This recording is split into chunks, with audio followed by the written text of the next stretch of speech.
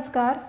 राज्यातील शाळा करोनामुळे बंद असल्या तरी शालेय शिक्षण विभागा माध्यमातून विद्यार्थ्यांचे शिक्षण थांबू नये म्हणून प्रयत्न करण्यात येत आहेत.